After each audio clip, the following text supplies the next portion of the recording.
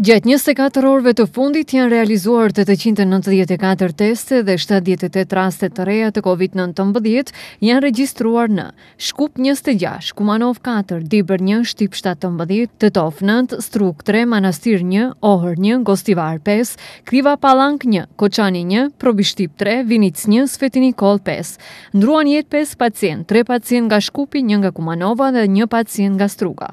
Sot Instituti i Shëndetit Publik regjistroi njëqind e shtatëdhjetë e dy persona të shëruar nga Shkup, shtatëdhjetë e dy, Kumanova pesëdhjetë e tre, Shtipi njëzet, Prilepi katër, Tetovë dhjetë, Veles një, Gostivar pesë, Probishtip dy, Resnja katër, Negotinë një.